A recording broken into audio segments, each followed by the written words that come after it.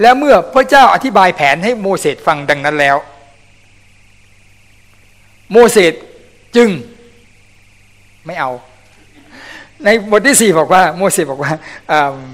ในบทที่สามถึงหกเป็นเป็นการเจรจาต่อรองระหว่างพระเจ้ากับโมเสสนะฮะโมเสสก็บอกเออขอโทษนะครับพระเจ้าครับ คือว่าถ้าเกิดผมบอกว่าพระองค์ชื่อพระยาเวจริง ๆ แล้วเนี่ยนะครับ แล้วก็แล้วผมไปบอกเขาเขาอาจจะบอกว่า เอ้ย ไม่จริงมั้ง พระยาเวไม่ได้ปรากฏแก่แกหรอกโมเสสเออนี้เสร็จแล้วสิผมทำทำยังไงดีนะแล้วพระเจ้าหาทางออกบอกโมเสสว่า ง่ายนิดเดียวก็คือว่า มีอะไรอยู่ในมือของเจ้า โมเสสก็บอก ไม่มี แกะแพะพวกนี้ก็เป็นของเยโทไม่ใช่ของผมที่จริงเสื้อนี่ก็ขอเขามาเขาให้มา พ่อตาให้มาไม่ใช่มีตังค์ของตัวเองอ๋อมีอยู่อันหนึ่ง มีแค่ไม้เท้าอันเดียว พระเจ้าถามมีอะไรอยู่ในมือของเจ้า แล้วโมเสสบอกมีแค่ไม้เท้า แล้วก็โดยไม้เท้าอันเดียวของเขานี่แหละ ที่กองทัพอันเกรียงไกรของอียิปต์ต้องจมน้ำตาย โดยไม้เท้าอันเดียวนี้เนี่ยอียิปต์ต้องสั่นสะเทือน โดยไม้เท้าอันเดียวของเขานี่แหละเปลี่ยนจากว่าสามวันไม่ให้เป็นบอกโอ้ได้โปรดไปเถิด โดยไม้เท้าอันเดียวของเขาเนี่ยทำให้กองทัพอมาเลกต้องพ่ายแพ้ ไม้เท้าไม้เท้าอันเดียวเขาทำให้น้ำออกจากหินอัศจรรย์ต่าง ๆ มากมายหมดด้วยด้วยไม้เท้าที่อยู่ในมือของเขาเนี่ยล้านล้านล้านล้านล้านบวกกับสองไงบวกกันหนึ่งไม่มีผล อะไรก็ได้ที่อยู่ในอะไรก็ได้ สมมุติวันนั้นบังเอิญโมเสสไม่มีไม้เท้าครับ มีแต่หนังสติ๊กเหมือนกับอาจจะเป็นเหมือนกับเดวิดใช่ไหมโอ้ข้าพงมีหนังสติ๊กครับ แล้วก็ เวลาไปถึงทะเลแดง พระเจ้าจะบอกยกหนังสติ๊กของเจ้าขึ้นแล้วทะเลแดงก็แหวกออก คือมันไม่สำคัญไงว่าว่าอะไรอยู่ในมือ แต่สำคัญแต่ว่าพระเจ้าจะใช้เราต่างหากซึ่งเรื่องนี้ผมชอบวลีนี้มากเลยนะครับ บอกว่ามีอะไรอยู่ในมือของเจ้า เหมือนกับชีวิตของเราเหมือนกันเนี่ย เราอาจจะรู้สึกว่าโอ้บางบางท่านบอกโอ้อายุก็เยอะแล้วนะครับบางคนก็บอกโอ้เรียนก็ไม่ค่อยถนัดเท่าไหร่บางคนบอกโอ้จำหนังจำพระคัมภีร์ก็ไม่ได้ไม่ค่อยเก่ง บางคนพูดไม่ไม่ค่อยเก่ง บางคน ร้องเพลงไม่เพราะหรืออะไรก็แล้วแต่เนี่ย ไม่เห็นสำคัญเลย จะเป็นหนังสติ๊กหรือว่าเป็นไม้เท้า พระเจ้าก็ใช้แหวกทะเลแดงได้ทั้งนั้นแหละ อะไรอยู่ในมือของท่าน เพียงแค่โมเสสต้องยอมให้พระเจ้าใช้ ยินดีร่วมมือกับพระเจ้า แล้วไม่ว่าไอสิ่งที่อยู่ในมือของเรามันจะเล็กน้อยอ่อนแอสักเพียงใดก็ตาม สามารถทำสิ่งนี้ยิ่งใหญ่เพื่อพระเจ้าได้หนึ่งแน่นอน ผมก็เลยชอบข้อนี้มากว่ามีอะไรอยู่ในมือของเจ้าโมเสสบอกไม่มีครับมีไม้เท้า แล้วปฏิบัติการโชว์ไม้เท้าก็เริ่มเกิดขึ้น พระเจ้าก็ให้โมเสสทำยังไงครับ โยนไม้เท้าลงไปที่พื้นใช่ไหมครับ อันนี้ซ้อมใหญ่ เพราะว่าอะไรอีกสักพักเดี๋ยวต้องไปทำต่อหน้าฟาโรมีให้ซ้อมโยนไม้เท้าไปที่พื้นแล้วไม้เท้าก็ก็กลายเป็นงูนะครับแล้วเมื่อไม้เท้ากลายเป็นงูพระคัมภีร์บอกว่าเมื่อโมเสสเห็นงูนั้น โมเสสตกใจวิ่งหนีนะฮะคือตกใจวิ่งหนีแล้วการทดสอบครั้งแรกก็มาถึง พระเจ้าบอกให้โมเสสทำอะไรนะครับ จับงู จับที่ไหนนะครับ ใครสั่งใครสอนใช่ไหมจับงูเขาต้องจับที่ไหน ตีงูตีที่ไหนตีหัวเวลาหมองูจับงูยังต้องจับที่หัวเลยใช่ไหมจับงูที่หาง ใครสั่งใครสอน เป็นไงถ้าจับงูที่หางหนึ่งร้อยเปอร์เซ็นเลย ถ้าเป็นพวกงูพิษมันฉกแน่นอน ไม่มีทางในเมื่อมันมันมันไปต่อไม่ได้ใช่ไหมเราจับหางมันไว้หนึ่งร้อยเปอร์เซ็นมันหันมาฉกแน่นอน แล้วพระเจ้าสั่งโมเสส จับงูที่หางนั้น การทดสอบครั้งแรก คือถ้าโมเสสไม่กลัวงูก็เรื่องหนึ่งใช่ไหมในพระคัมภีร์ตอนนี้บอกว่า เมื่อท่านเห็นโมเสสก็หนีไปจากงูนั้นจะไปกอดต้นไม้ไว้หรืออะไรก็แล้วแต่เนี่ยอาจจะตกใจเพราะงูหรืออะไรก็แล้วแต่เนี่ยแล้วการทดสอบบอกว่าให้โมเสสเอื้อมไปจับไปจับงู แล้วบ่อยครั้งก็เป็นอย่างนี้ด้วย เมื่อพระเจ้าท้าทายให้เราทำบางสิ่งบางอย่างเนี่ย มันหวาดเสียวน่ากลัว น่าอันตราย ไปจับงูที่หางใช่ไหมแล้วโมเสสก็ทำตาม พอโมเสสทำตาม ปรากฏว่างูนั้นก็กลับกลายเป็นไม้เท้าอีกครั้งหนึ่งอันนี้ซ้อมใหญ่ แล้วก็ต่อมาพระเจ้าให้ทำอีกอย่างหนึ่งก็คือให้โมเสสเนี่ยเอา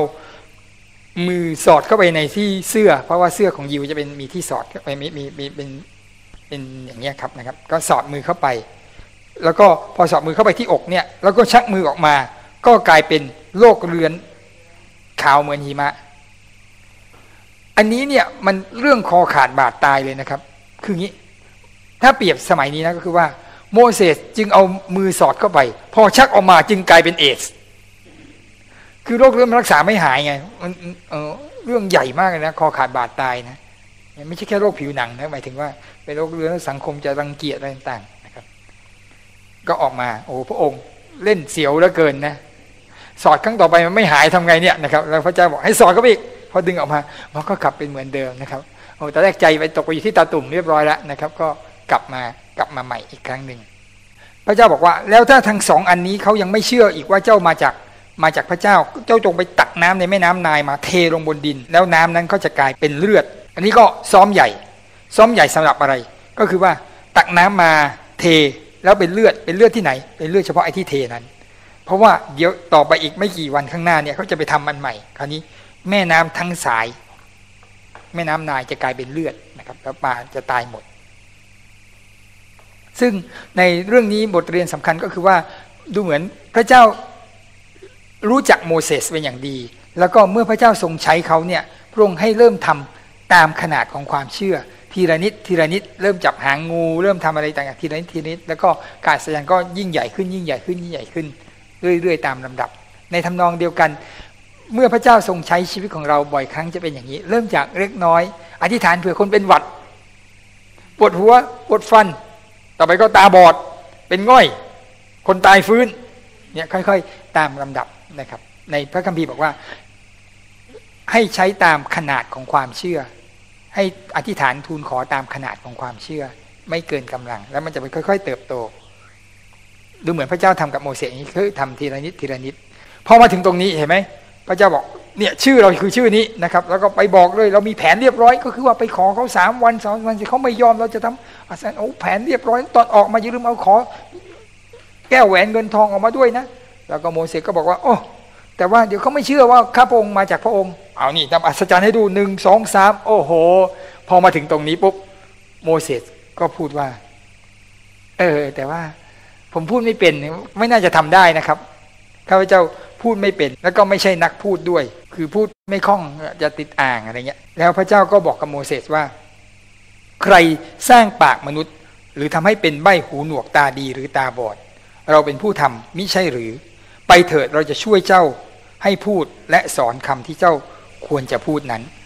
โมเสสบอกว่าพูดไม่เป็นพระเจ้าบอกว่า ไม่ต้องห่วง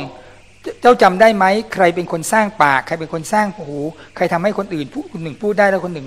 พูดไม่ได้ ก็คือเราเองเราคือพระเจ้านั้น ดังนั้นถ้าเจ้าไปเราจะใช้เจ้าให้พูด